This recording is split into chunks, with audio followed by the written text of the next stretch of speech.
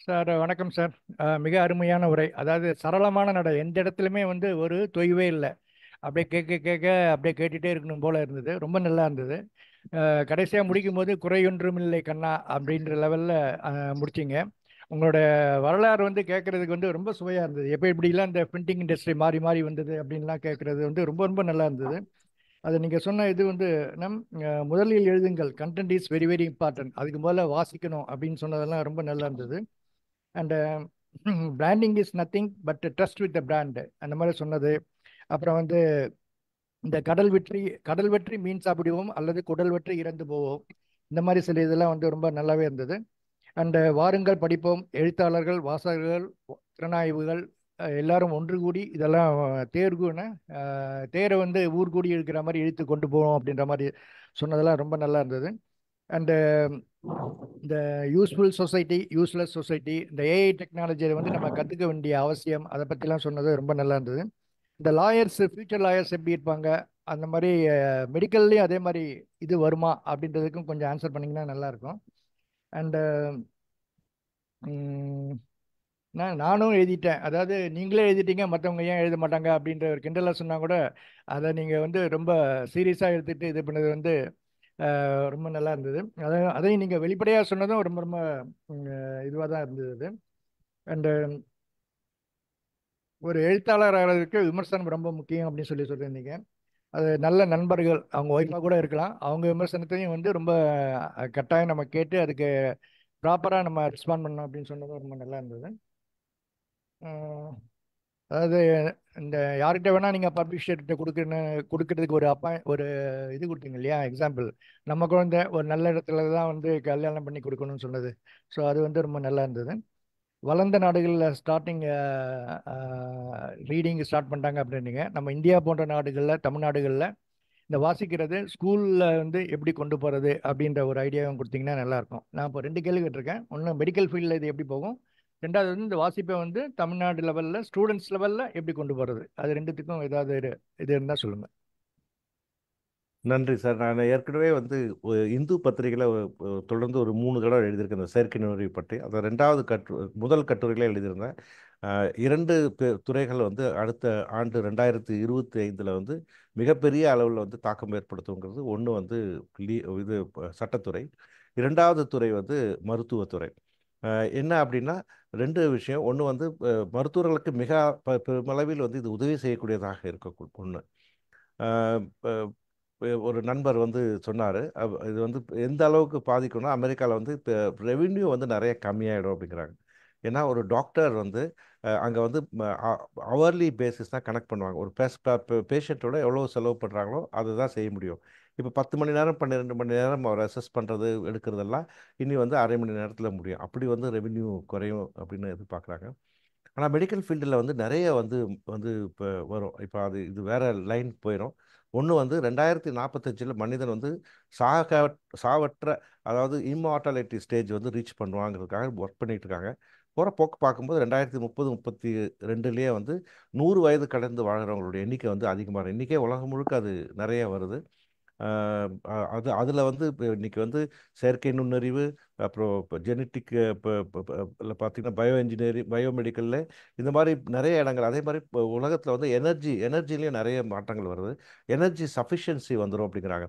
Nuclear fusion போன்றவைகள் மூலமாக இனி வந்து எந்த விதமான வந்து எனர்ஜிக்கு வந்து ப்ராப்ளம் இருக்காதுங்கிறாங்க. ஃபுட்டு உணவும் வந்து இப்போ பற்றாக்குறையே இருக்காது. காரணம் நீங்கள் வீட்டிலேயே வந்து தேவையான அதான் மரம் செடி எதுவுமே இல்லாமல் உங்களுக்கு வேண்டியவைகளை வந்து நீங்கள் வந்து cultured vegetables cultured me meat இதெல்லாம் வந்து தயாரிக்க முடியும். இன்றைக்கி ஏற்கனவே சிங்கப்பூர் இஸ்ரேல் அமெரிக்காலெல்லாம் வந்து செயற்கை முறையில் தயாரிக்கப்பட்ட உணவு.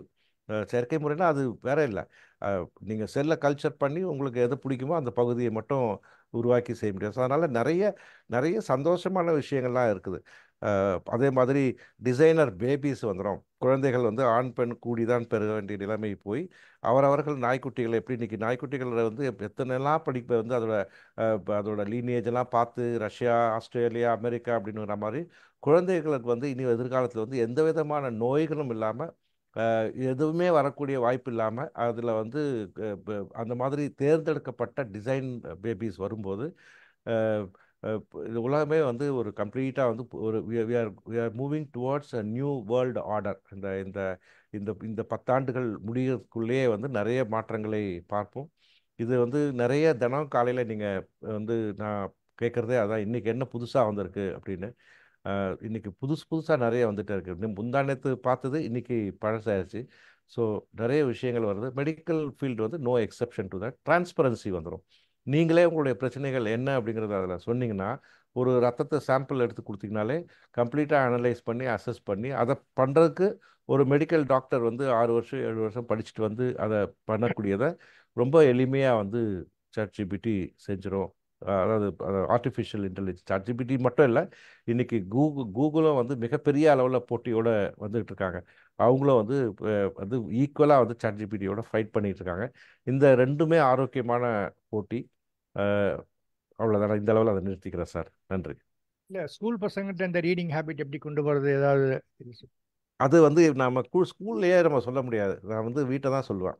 ஸ்கூல் டீச்சர்ஸ் வந்து இன்றைக்கி எப்போ கவர்மெண்ட் ஸ்கூல்லேருந்து நம்ம ப்ரைவேட் ஸ்கூலுக்கு போனோமோ ப்ரைவேட் ஸ்கூல்ஸில் எல்லாமே வந்து ரிசல்ட் ஓரியன்ட் நாங்கள் நிறைய ப்ரைவேட் ஸ்கூல்ஸோட இந்த ஃபேக்கல்ட்டி டெவலப்மெண்ட் ப்ரோக்ராம் இது எனக்கு இந்த teaching is another passion for me நான் வந்து இப்போ ஒரு வேளை வந்து நீங்கள் பதிப்பாளராக வரல அப்படின்னு சொல்லி தான் கண்டிப்பாக டீச்சராக தான் போயிருப்பேன்.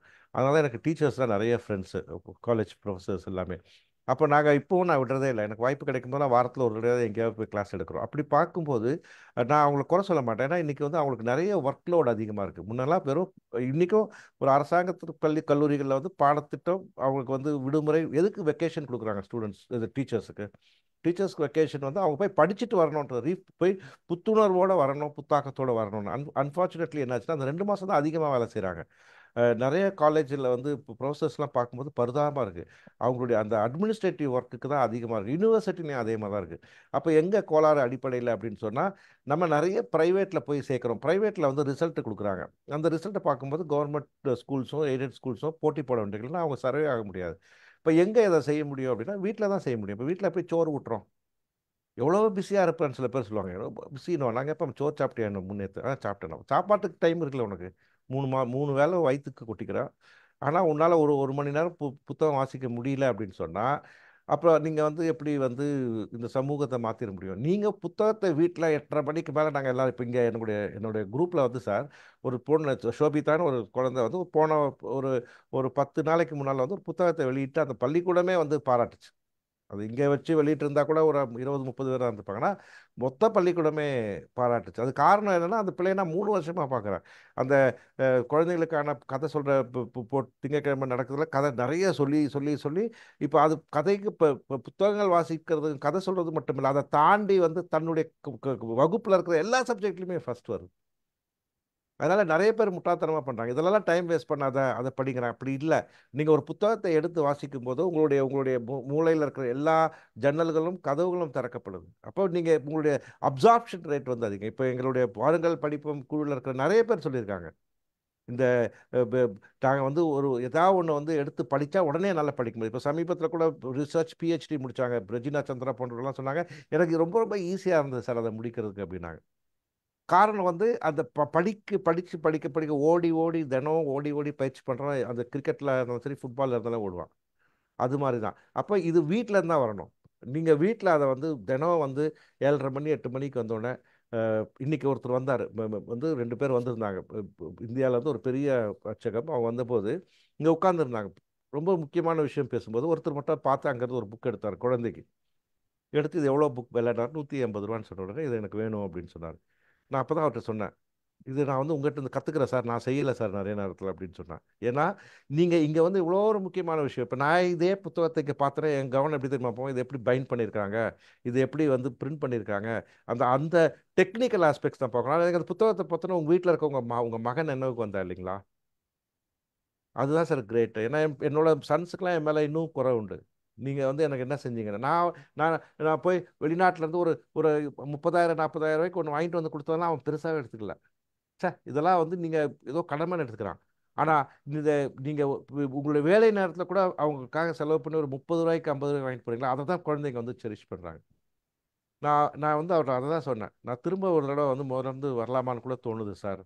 ரீவைண்ட் பண்ணால் பசங்களுக்கு. அப்போது பசங்களை இப்போ அன்ஃபார்ச்சுனேட்லி எங்கள் வீட்டில் என் பிள்ளைகள் வந்து படிக்கிறாங்க. காரணம் நாங்கள் படிக்கிறதுனால நம்ம வா- இணையர் படிக்கிறதுனால அவங்களும் வந்து அந்த புத்தகம் வாசிப்பில் வந்துட்டாங்க. அதனால் பள்ளிக்கூடம் பண்ணணுன்றது நினைக்கிறது வந்து தவறு. பள்ளிக்கூடமாக சவுத்து சொல்லி சாப்பிட்றதுக்கு சொல்லி கொடுத்தது பள்ளிக்கூடமாக குளிக்கிறதுக்கு சொல்லி கொடுத்தது பள்ளிக்கூடமாக ட்ரெஸ் வாங்கி கொடுத்தது இல்லை வீடு தானே. இப்போ வீட்டில் நம்மளுடைய லைஃப்பில் புத்தகம் வாசிக்கிறதுன்னு இன்டெக்ரல் பார்ட் வந்தால் எல்லாமே சரியாயிரும் சார். எங்கள் பிரச்சனையாக தானே சார். பத்து புக்கு வந்த இடத்துல நூறு புக்கு வருது. நூறு புக்கு வந்த இடத்துல ஆயிரம் புக்கு வருது. ஆனால் எவ்வளோ புக்கு விற்க முடியுது இன்னைக்கு? ஐம்பது புக்கு நூறு புக்கு தான் சார் விற்குது நாங்கள் ஒரு காலகட்டத்தில் ரெண்டாயிரம் காப்பி மூவாயிரம் காப்பிலாம் விற்றவங்க ஏன் வா விற்க மாட்டேது? வாங்க மாட்டேங்கிறோம். நூறுரூபா இரநூறுவாய்க்கு கூட புக்கு வாங்க தயாராக இல்லை. நீங்கள் ஒரு புத்தக நிகழ்ச்சிக்கு போனால் ஏன் ஒரு அஞ்சு புக்கு வாங்கிட்டு போய் பார்க்குறவங்களுக்கு புத்தகத்தை கொடுக்கக்கூடாது அன்னைக்கு அன்னைக்கு இந்த குழுல இருந்து அவங்க வந்திருந்தாங்க. இப்போ இவங்க பத்மா வந்த போது கூட நான் புத்தகத்தை தான் கொடுத்தேன் நான். அது அது அது அதை வந்து நம்ம வழக்கமாக வச்சுக்கிட்டோம்னு வச்சுங்க சார். டெஃபினட்டாக வந்து அதை தான் இன்றைக்கி அட்வான்ஸ் சொ சொசைட்டிலெல்லாம் செய்கிறாங்க இந்த இந்த இந்த நம்ம சொசைட்டியை வந்து ஒரு மேம்பட்ட சமூகமாக்கணும் அதை செய்யணும். நன்றி சார்.